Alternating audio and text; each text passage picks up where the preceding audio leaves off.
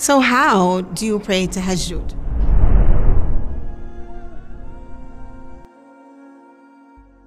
How is it different than any other prayer? Well, first of all, let's talk about timing.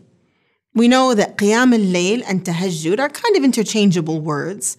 Usually, if you pray it after Isha, so right now we're talking about the time between Salat al-Isha and Salat al-Fajr. This is the nighttime between the nighttime prayer and the morning prayer. Now, if you pray before you sleep, we usually call this qiyam al-layl. And if you sleep and then wake up, we usually call this tahajjud. How do you pray it? You've prayed Salat al-Isha, you've prayed your Sunnah of Isha, and now what?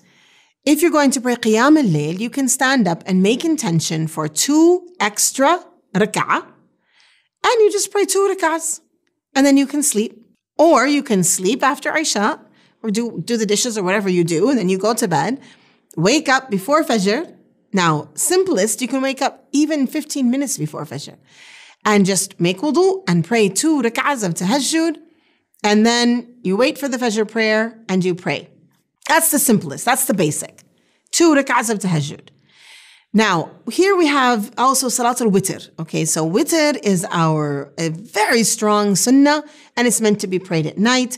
So the next step we can say is we're going to wake up just a tiny bit earlier, pray two rak'ahs of sunnah al tahajjud, and then pray witr, depending on if you're praying at which madhab you're praying, you're going to pray all three rak'ahs together or two and then one. Now, what else can we do at night? Of course, first of all, there is what has the Prophet ﷺ told us about the numbers of rak'ahs to pray at night? We have interest, many different uh, narrations that talk about the number of rak'ahs. Abdullah ibn Umar anhu tells us that the Prophet ﷺ would pray 11 rak'ahs, so that's 8 plus 3, which is the eight rak'ahs of tahajjud plus three of witr, eight being two, two, two, two. Now, mind you, the prayer of the Prophet ﷺ was not the prayer of your regular Ahmed or Tala. It was a prayer that was long and extended. So I, we don't need to hold ourselves to eight rak'ahs. What we need to think about is the time at night that we want to pray. And I really want to emphasize thinking about habit growing. So think about, I'm going to do two rak'ahs. I'm going to start with two. Then I'm going to do four. And then I'm going to do six. And then I'm going to do eight. Now, maybe I'm doing eight. Maybe now I want to expand each of these rak'ahs and make each one longer. Maybe I'll just do four, but I'll make them longer. Or maybe I'll do something else. Here are a few ideas of things to do at night. Our community, one of the things that our community is struggling with is missed prayers. Many, many, many Muslims today, unfortunately, have a lot of fard prayers that we have missed. One really beautiful way to use the night is to make up your fard prayers. So to say, well, you know what, when I was 14, I should have been praying, but I wasn't. When I was 15, I should have been praying what I, when I wasn't. I'm just going to do what I can to make up these prayers. Now, for some people, they get really serious about it. They print out a paper and they start marking off the prayers so that they can reach a point where all these prayers are made up. And they do it at night. That's a time when things are quiet. You're, if you're praying anyway, it's just easier, really, to pray a full day of qada rather than rak'atain, two rak'ats, two rak'ats, two rak'ats. But either way, whatever you want to do, it is beneficial to pray at night. Now, what should these rak'ahs look like? When you are reciting Quran at night, you recite the Quran out loud. You benefit from listening to it yourself.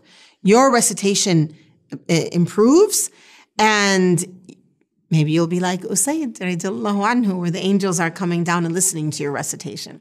Now, of course, I know that not everyone's Quran memorization is good enough to be able to do this at night. So in the Shafi'i madhab, you can set the mushaf in front of you on, you can get a music stand, a cheap music stand from anywhere really, uh, go to your local shop, better than those big online stores, and buy one, put it in front of you. Then you can get a mushaf that is bound with a spiral bound, a spiral bound mushaf that will lay flat, or anyone that you that's big enough, even an even a tablet on a stand like that. And then it's right in front of you. So you can pray a longer prayer. You can pray a whole page or two pages in that rak'ah, where you're slowly meditating and thinking about these verses, listening to the verses as they enter into your heart, and spending time. And remember what radiallahu anhu told us about the prayer of the Prophet that the standing was equal in time to the ruku', was equal in time to the sujood, to the movements of the prayer. Think about that, especially at tahajjud. I know that when we're busy in the day, sometimes our dhuhr prayer might be really quick. Oh, got to run off to that meeting. Or maybe asr, you have to go and cook dinner. Or maybe at maghrib, you have bedtime things going on with the children, or a Zoom meeting, or something that's nagging at you. But at night, even WhatsApp stops working. Well, for the most part. Here is a time to have a balanced prayer, to recite, to settle in your ruku', settle in your sujood. And one other really important part of tahajjud is dua.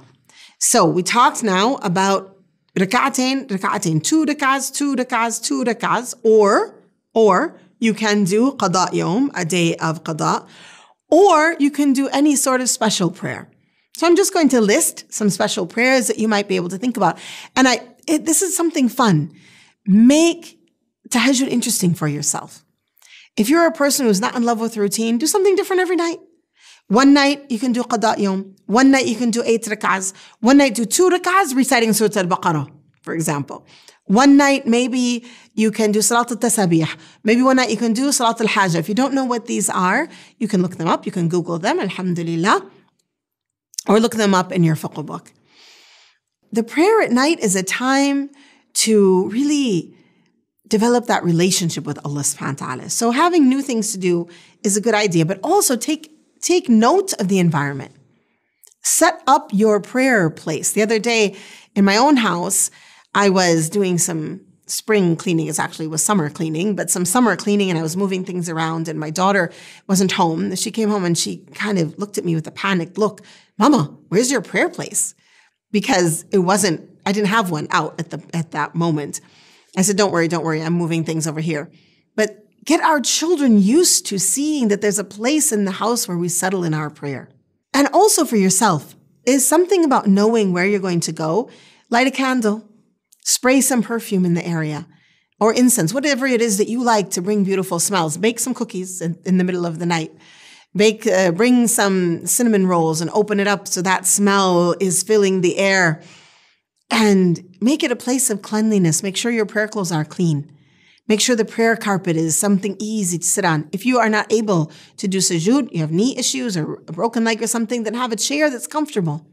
Pay attention to these things. Get the place ready so that when you wake up, your appointment, your meeting with your Lord is prepared. You're just beautifying yourself with wudu and you're going to that prayer carpet. You begin with rak'atain, two light rak'ahs and you have the, you do these two rak'ahs and you they're very lightweight. That means they're not very long. That's how the Prophet would do it. And then the next ones are longer. You, you've warmed up, just like exercise, exercise of the heart, exercise of the spirit. You've warmed up and then you extend that and then you sit and make dua. And if you're a person who can't think about what to make dua for, make notes during the day and set that next to you so that you can look at it and remember to make dua for me. Remember to make dua for our ummah. Remember to make dua for your children, your family, for all of the people that you know and don't know.